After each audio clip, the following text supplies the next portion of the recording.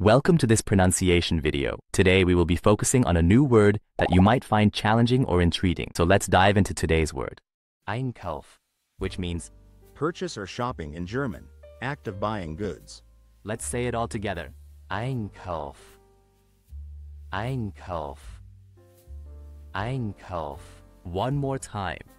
Einkauf. Einkauf. Einkauf. Thank you for joining us on this adventure in pronunciation. Remember, language is a journey, not a destination. Keep exploring, experimenting, and expanding your linguistic horizons. We'll see you next time.